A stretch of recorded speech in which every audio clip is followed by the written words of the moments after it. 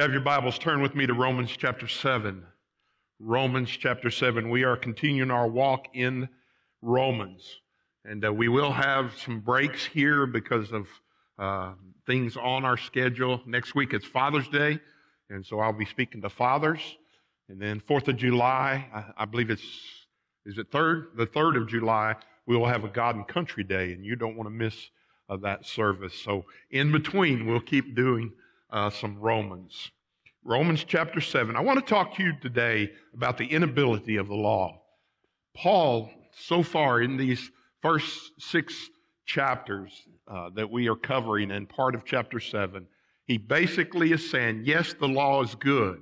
The law lets us know that we are sinners. The law points us towards Jesus Christ. But the law cannot save you.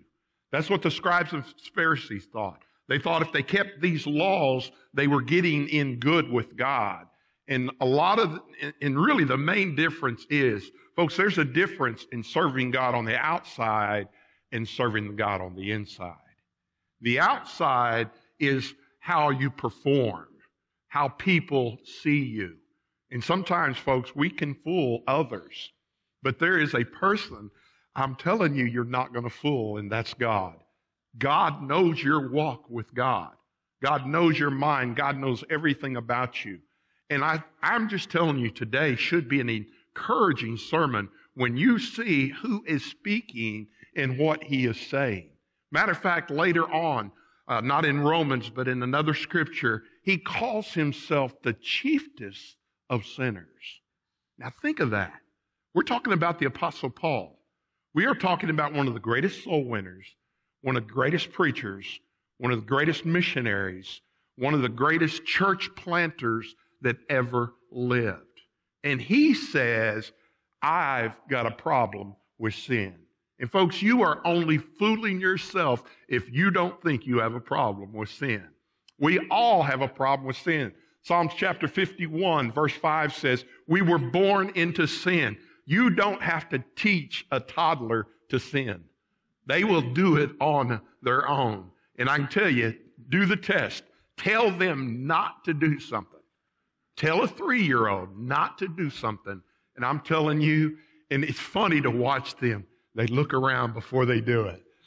They know what they're doing is wrong, but they do it anyway. But praise God, He saves us from our sin.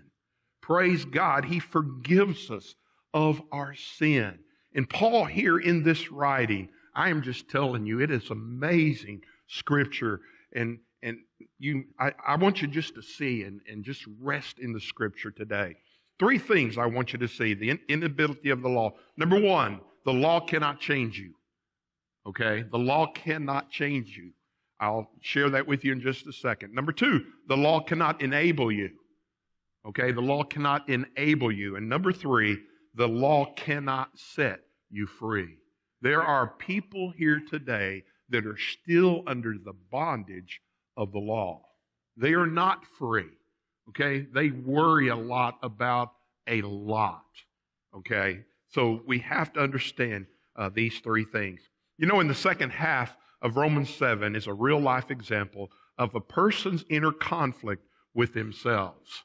And I'm telling you, folks, it's not others. It's not our environment. It's not and you fill in the blank who makes us sin. We are the problem. For me, I am my problem. Okay? Because nobody makes me sin. All right? I choose to do that. Part of him pulls in one direction while another part pulls in the exact opposite direction. Because of the use of the word I, which is used 26 times in the scripture text that we're fixing to read in our scripture, I believe Paul was talking about himself after he had first found Christ as his personal Lord and Savior. And here's the deal just because you get saved doesn't mean you're not tempted. Okay, you will be tempted. Matter of fact, Satan will come after you sometimes right after you are saved. Nobody becomes a mature Christian overnight. Paul was speaking honestly about the battle of saying no to sin that seemed to plague his mind and heart as a new believer. To be truthful, it can still be an issue of life no matter how long you have been saved. The battle with sin is real. The battle is intense. The battle is a daily spiritual warfare in our Christian life. Let's look at this wonderful scripture that encourages us of the victory that we can have in Jesus Christ our Lord. Romans 7, verse 14. The law cannot change you. For we know, okay, knowing is knowing, folks. We are sure of this, that the law is spiritual, but I am carnal and sold under sin. He also said earlier in our text in chapter 7 that the law is good, that the law is holy. So you can see that there are good things about the law. But it's it, the spiritual part of that, folks, is that inner being, that spiritual man. And I know how some people think of it, and I'm kind of dating myself here, but uh, if you remember Flip Wilson, all right, he said there are times in his life that there's a devil sitting on one shoulder and an angel on one shoulder, and they say, Do it, no, do it, no, do it, no. And folks, sometimes that struggle is real. It really is. You're sitting there thinking, and folks, the deal about it is if you sit there thinking long enough, you are going to do it. The key is not dwelling on it, okay, not focusing on the sin. And we will talk about that in our third point. So we know the law is spiritual, but I am carnal. What is carnal?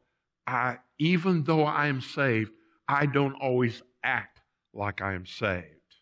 A carnal Christian is a Christian that doesn't make good decisions, a Christian that gives in to sin. And folks, this is Paul, the Apostle Paul here. This is what he is talking about. The law, obviously, and if anybody knew the law, it was the Apostle Paul, because, you know, before he got saved, I'm telling you, he, he was a Christian persecutor. He knew the law. Okay, he was raised in the law. He enforced the law, but it did not change his life. It did not change his life. Folks, Jesus changed his life when he was on the road to Damascus. So we know that the law is spiritual and we are carnal. Hold your finger there if you would. Go to Luke chapter 22. Luke chapter 22. Not only Paul had this struggle, but I want you to see Peter had the struggle also with the carnality, with his flesh. Folks, it's still, even after you're saved, you have to deal with your flesh and you have to deal with sin. And we remember Jesus was arrested just earlier before the, our text in Luke chapter 22. Look at verse 54. And having arrested him, and again, folks, this is Peter, and this is an example of his old nature. He was Peter. He, he, uh, even before that, you know, Jesus told him, upon, upon this rock, I'm going to build my church. Not upon Peter, but Peter's confession and profession of faith was in Matthew chapter 16. He was head of the disciples. He was trusted by God. He was on Jesus's uh, inner circle of the big three. And here he is when Jesus is arrested, and look what he does. And having arrested him, Jesus, they led him and brought him to the high priest's house. But Peter followed at a distance. Notice that. He didn't follow close by, he followed at a distance. Now, when they had kindled a fire in the midst of the courtyard and sat down together, Peter was among them. And a certain servant girl, seeing him as he sat by the fire, looked intently at him and said, This man was also with him. But he denied him, saying, Woman, I do not know him. Earlier, when he, he was with the disciples and uh, you know, Jesus was telling them, hey, you're going to be persecuted. I'm telling you, you're going to be persecuted. When I, when I am crucified and all this is going on, I'm telling you, they're going to come after you. And remember what Peter said? Hey, I don't care what the other guys do. I will die for you, Jesus. Well, folks, he's sitting in a courtyard. He's sitting around people he don't really know, but yet he denies knowing Jesus Christ. That's that flesh, folks. That's that carnality, that, that coming back in him. And he says, and after a little while, he saw him and he said, You are also of them. But Peter said, I am not, the second time. And you remember Jesus had told him earlier, Hey, Peter, you're going to deny me three times. And Peter said, No, no, there's no chance I'm going to do that. Verse 59 Then after about an hour had passed, another confidently affirmed, saying, Surely this fellow also was with him, for he is a Galilean. But Peter said, Man, I do not know what you're saying. The third time. And matter of fact, Matthew's account of this says after that, he swore and he cursed. Okay? Folks, I'm telling you, he, he was going back. All right? He was making bad choices. He wasn't standing up for Jesus. He wilted under pressure. And look at ver- the, the next verse. Immediately, while he was still speaking, the rooster crowed, and the Lord turned and looked at Peter. Can you imagine?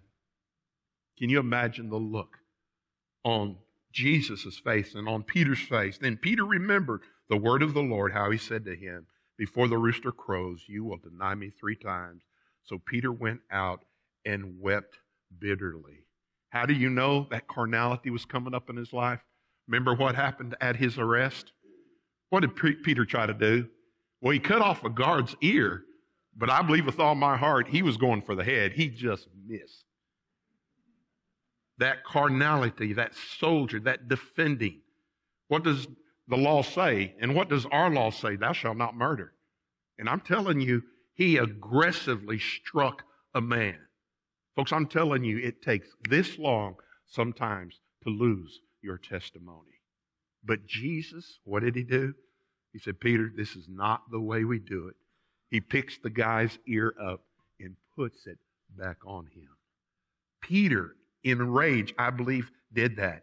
So let me give you the lowdown. Three things he did. First, he lied. He said, I didn't know him. Then he denied Christ. And then he attempted murder. This is Peter. And now let's look at Paul. Law cannot change you. The law cannot change you. Folks, the law is a spiritual guide, but the law is not the problem. I am the problem. Look at verse 15 back in our text. For what I am doing, I do not understand. Folks, I've done this. I've done something, and I said to myself, What? Why did you do that? Why did you say that? And I fill in the blank in my head sometimes, okay? You're a knucklehead. You're an idiot. I call myself an idiot at times because that was so dumb what you do. I'm talking about me so I can talk like this, all right? I'm not talking about you, okay? Because people ask me, you have a lot of good sheep, don't you? But do you have some bad ones too? you know what I tell them? Yes, I do, and I'm one of them. Folks, nobody's perfect. Nobody does the right thing every time. If you tell me that, I will call you a liar to your face. Okay? We all sin. Paul, this is his words. He said, But what I am doing, I do not understand. For what I will to do, I do not practice. I want to do right, but I don't always do right. Paul's struggling with this in his Christian life. And I believe it was early in his Christian walk. And it says, But what I hate, that I do. We can say, I hate it, and we can preach against it, and we can tell everybody else not to do it. But sometimes we sneak around and do it ourselves. If then I do what I if I do what I will not to do, I agree with the law that it is good. But now it is no longer I who do it, but sin that dwells in me. You did not get rid of your sin nature. Someone asked me one time, Preacher, when, when do we get rid of it, man? I get tired of fighting it all the time. Let me tell you when. When you take your last breath on earth, you will sin no more. Sin is always going to be around us. Temptation is always going to be around us. That's why we have to be on guard. That's why we have to recognize this. We have to recognize this. Look at verse 18. For I know that in me, that is in my flesh, nothing uh, good dwells. For to will is present with me, but how to perform what is good, I do not find. I know the answer. I know the answer, sometimes even before it happens, but I find myself giving the wrong answer or doing the wrong thing. Verse 19, for the good that I will to do, I do not, but the evil uh, I will not to do, I practice. Notice how he keeps saying, I, I, I, I. I have a problem. And folks, we all have the same problem. It's called a sin nature. Okay, a sin nature. I wished, I, I mean, I, I think sometimes people think some preachers, they wake up and they kind of just fly into their spiritual pants. They just start their day with four hours of prayer. They just, I, I mean, you know, and folks, I'm just telling you, I want to be a spiritual man. I do my best to be a spiritual man. I read the word, I pray, but it, I'm just telling you, there's still times that I fight my own flesh. And I've got a suspicion that if I and Paul, if we're fighting it, you're fighting it too. So we have to understand you're not alone in this battle. It is all spiritual warfare. He will start it right as soon as you get up. What happened yesterday? Well, I was having a good day till I fell out of bed.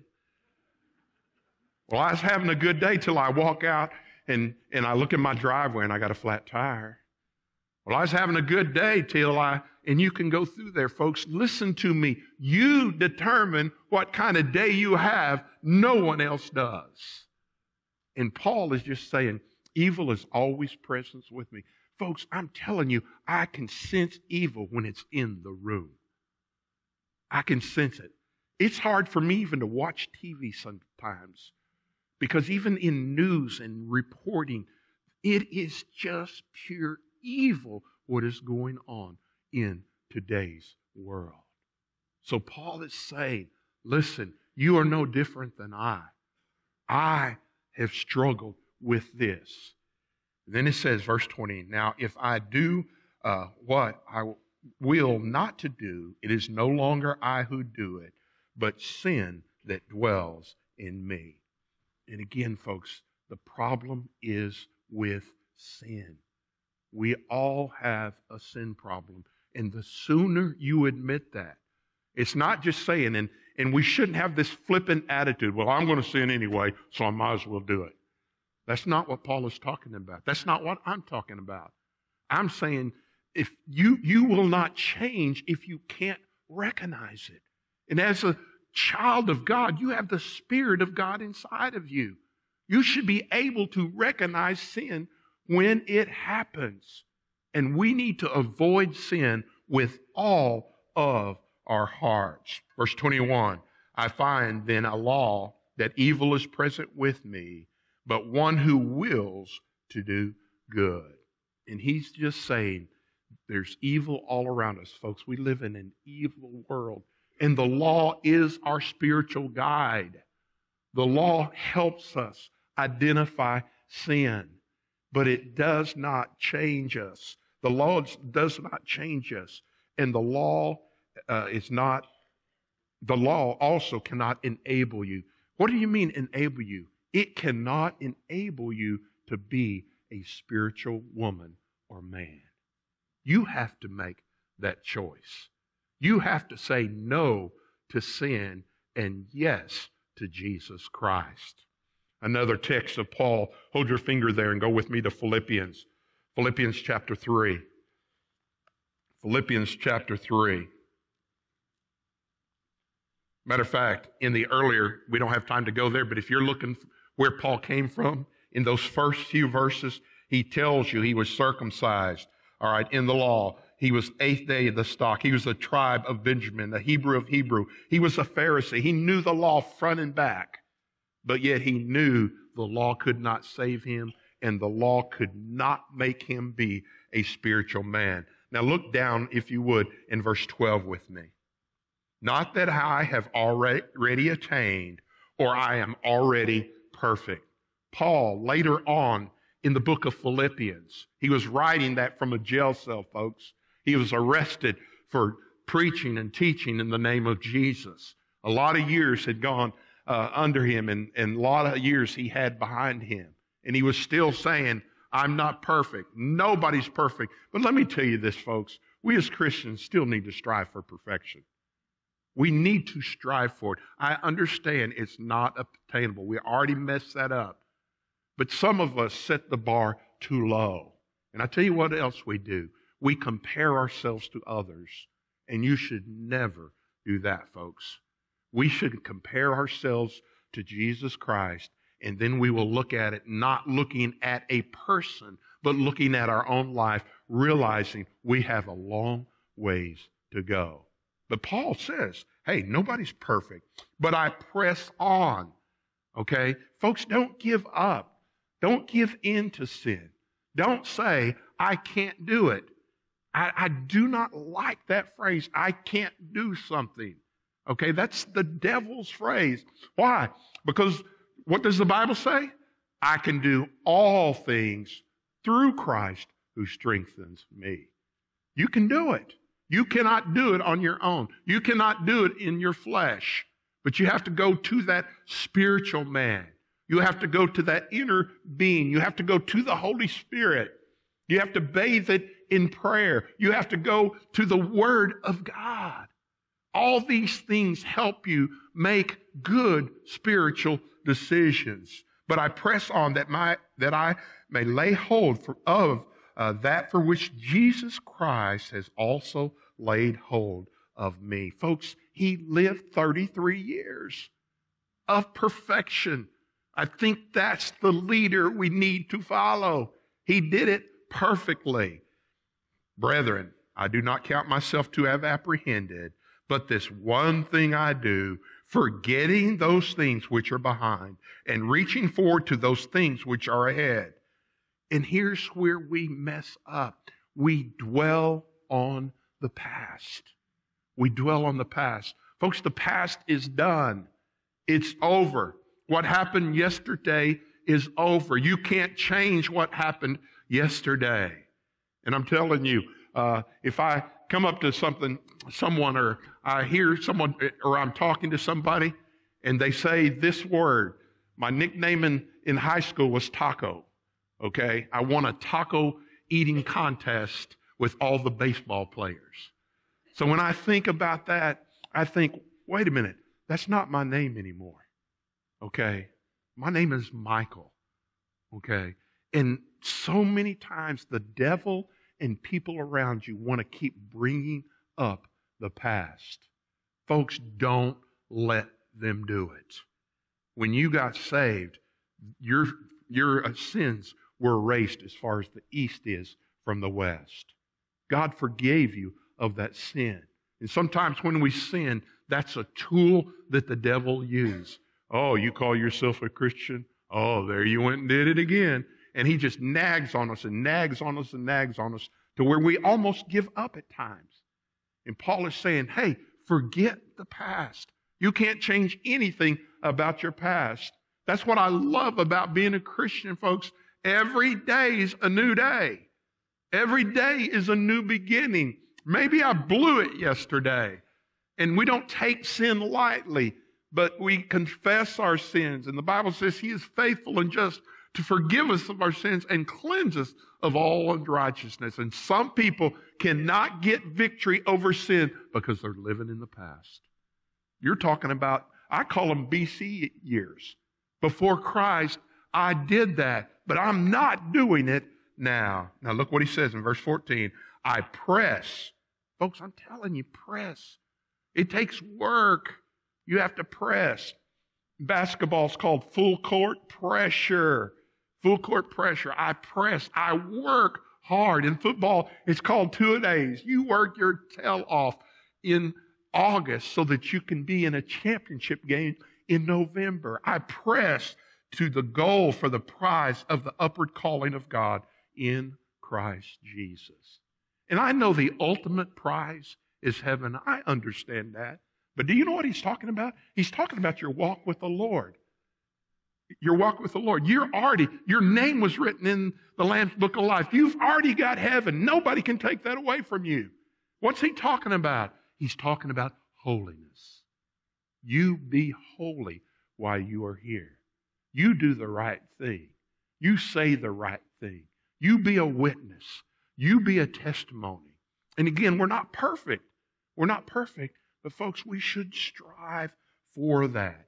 And that is so important. The law cannot make you a spiritual person. And folks, the battles is three things. Three things. And you need to write these three down. Number one, the battle's in the mind. It is in the mind. It starts in the mind. Okay, the battle starts in the mind. He's already got your heart. Jesus is there. He cannot take that away. The Holy Spirit is always with you, but it'll start with a thought process. Then it goes to the will. Paul here is saying, I will to do right. All right? But folks, our will has to be surrendered to His will, not my will. Jesus Himself quoted that. Not my will, but thine be done. It starts in the head, it goes to your will, and you need to follow Jesus. Surrender all. Ask yourself, what would Jesus do? And the third thing is your body. Okay? Your body is neutral, but Satan uses your body for bad, and Jesus and God uses your body for good. And there's that natural progression. And that's what Paul is saying here. I want to do right. I want to do right, but these three things plague me. Okay, they plague me. My mind, my mind's not always where it needs to be. My will isn't strong enough. And it's not just intestinal fortitude, folks. It's turning your will over to God. Total surrender would be the best way to put it. And then you have to guard your body. You have to guard your body. So we see the law cannot change you, the law cannot enable you. And number three, the law cannot set you free. The law cannot set you free. Listen to me, folks. Only Jesus can set you free. Only Jesus. Look at verse 22. For I delight in the law of God according to the inner man. Folks, I cannot tell you how important you reading the Bible every day is. That'd be like going to the doctor uh, when you're sick and he gives you a prescription and just said, and they and when you get a prescription, they give you this sheet that has 96 things that this medicine does to you. Okay? That's like saying, I'm not going to take that. Why? Because I don't want to read that. I don't want to read all that. Okay? Folks, the Word of God needs to be engrafted into our minds and into our hearts. Matter of fact, Psalms Psalm 1. Go with me to Psalm 1. Psalm 1. The Bible said, Blessed is the man. Blessed means happy, who walks not in the counsel of the ungodly. Folks, you can't hang around ungodly folks and expect to be godly. It's like hanging around with a skunk. You hang around with the skunk long enough, you're going to stink. All right? And I understand we need to befriend them. We, we need to t- witness to them. But we can't have that bombardment every day of our lives, nor stands in the path of sinners, nor sits in the seat of scornful. You got to watch who you're with, folks. They have a huge influence on you. And I understand you can have a huge influence on them. But if you're not spiritually strong, this could be a weakness. Look at verse 2. But, in, but his delight is in the law of the Lord. Folks, we have to read the Word of God. We have to study the Word of God. We have to meditate upon Scripture. And it's almost like the more Scripture you get in your head and heart, the more it pushes out those evil thoughts and those temptations. Matter of fact, he gives you uh, great advice in this. But his delight is in the law, and in the law he meditates day and night. Some of you, it's a struggle to read the Bible once a day. But the psalmist gives you a hint on how to have victory over sin. You start your day in the Word of God and you end your day in the Word of God. You start it and things happen better, and you won't react as much to what the world and the devil throws at you. And the reason you do it at the end of the day, you do it so that you can renew that mind. Then you can, that you can get that holiness and those good thoughts in your head. Those are so important. And in his law, he meditates day and night, and he shall be like a tree planted by the rivers of water that brings forth its fruit in its season. And folks, any tree right next to a river or a creek, I'm telling you, it will thrive, whose leaf shall not wither, and whatever he does shall prosper. You want to be prosperous? You want victory over sin? You spend time in the Word of God. You spend time. Folks, I'm all for podcasts, I'm all for devotions, but nothing can take the place of God's holy Word. Nothing. For I delight in the law of God according to the inward man. Verse 22. But I see another law in my members warring against the law of my mind. There's he's talking about it and bringing me into the captivity to the law of sin, which is in my members. He's saying, hey, you, you have to be a spiritual man. You have to get in the law of God. You have to pray. You have to meditate on Scripture. And even when you do that, that doesn't take away temptation. Satan's not going to give up. You just can't give him fuel for the fire. Matter of fact, 2 Corinthians 10. Go with me there. Talking about temptation. 2 Corinthians 10, verse 3. For though we walk in the flesh, this is my flesh, you're looking at me, I this is my flesh, flesh and body. We do not war according to the flesh. For the weapons of our warfare are not carnal. There's that word again. Folks, you, let me let me just say this. This is and we're going to cover this is why I'm not doing it here. We're going to cover it in chapter 8. Folks, everything is either either spiritual or it's carnal. Everything in your life. It's either spiritual or it's not spiritual. And you can, or it's flesh. You can just fill in the blank with the others. For the weapons of our warfare are not carnal, but mighty in God for the pulling down of strongholds. You know what a stronghold is? It is a bad habit in your life. Okay? Folks, I'm telling you, you have to admit it. First thing is admit it. And folks, I'm for the step 12 step program. Okay, I'm for any addiction thing that you can do. But the deal is we have to uh, intertwine. We have to make sure the Word of God is in us. All right? It's not just a higher power. I don't even like that word. I like God. It's God in us. Give God the credit. Only God can do that for you the pulling down of strongholds. Now look at this casting down arguments and everything that exalts itself against the knowledge of God. What does Satan do? God says, do this. And what, what does Satan say? Ah, you don't have to do that. Adam and Eve, the perfect example. Every, every Bible character has an example of what not to do. Okay? So it's not like we don't know. It's not like we haven't read it. We have to determine, we have to keep our hearts and our minds clean. We have to turn our will over to God. God, with your help, uh, you know, uh, you know, I, I can do this. And it's just like, you know, everybody has something, a struggle that they're going through. And folks, I am telling you, and I believe with all my heart, God can free you from that struggle. He can free you from any addiction. And look, then look at the rest of it bringing every thought into the captivity to the obedience of Christ. Man, you want to set the bar high? Set the bar high. Every thought. What am I thinking? Every thought into the obedience of Jesus Christ. Now let's finish this up back in Romans. Back in Romans 7. The Bible says, O wretched man that I am, who will deliver me from this body of death?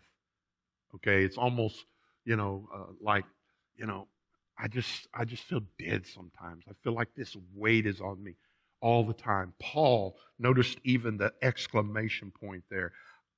I, but I thank God through Jesus Christ our Lord. So then, with the mind, I, I myself serve the law of God, but with the flesh, the law of sin. And, folks, the closer you get to Christ, the further you get from sin. That's the bottom line. The closer you get to Christ, the further you get from sin. 1 Corinthians 15, and I'm through. 1 Corinthians 15. 1 Corinthians 15, verse 55. O death, where is your sting? O Hades, where is your victories? The sting of death is sin. Folks, it hurts you, it stings you, it's wrong. We need to get as far away from sin as we can. And the strength of sin is the law. These do's and don'ts and these regulations, folks, you have to walk in the Spirit, folks. Walking in the Spirit is the key. But look at the next verse, 57. But thanks be to God who gives us the victory through Jesus Christ our Lord. Folks, we're not walking towards victory, we're walking from victory. As the men sang earlier, it's the cross, folks. The cross gives us victory over sin. Look, verse 58. Therefore, my beloved brethren, be steadfast, immovable, always abounding in the work of the Lord, knowing that your labor is not in vain. Two questions. Number one, do you know Jesus Christ as your personal Lord and Savior? There are people here that don't know Christ, and that is the reason you can't overcome sin. That is the reason. And I'm not saying, and, and again, folks, if you are convicted about sin, that is a good sign that you are saved. But you have to use spiritual discipline in your life. And as Christians, is there a sin or two that just continue to bombard you? And folks, we can have victory over sin if we will choose a spirit life, a spirit filled world with Bible reading and prayer. Memorizing Scripture helps a lot. It helps a lot. And, and be able to understand Satan wants to trip us up every day of our lives, and we don't have to see it. Father, thank you for this day. And God, I thank you for your word. God, your word is yes, it is true, and it is amen. And God, I know that even in reading this and studying it, the Apostle Paul just, when he was young, just cried out to you. Lord, he fought sin just like we do. And God, I pray that we could have victory over sin today. God, I just pray that we would set the bar high. And God, I pray that we would say no to sin and yes to Jesus. God, I pray if there's one here that doesn't know you, that they would just come forward and just tell us, man, I need Jesus. I need Jesus in my heart and in my life. Other Christians may need to rededicate their life to Christ. They haven't been doing what they know they need to do. And God, I pray that even as we uh, open this altar up, some would just come to the altar and pray. And still others come for baptism or maybe even church membership. God, this is your church. This is your word. It is your spirit, and only your spirit can draw us closer to you. So, God, I pray that you be with us during this time of invitation. God, I pray that we will totally focus on the invitation, not when we're getting out here, not where we're going, not anything else. But for these next few minutes, focus on Jesus Christ. And God will give you the glory. In Jesus' name we pray. Amen and amen. If God has spoken to you as you stand to your feet, you come.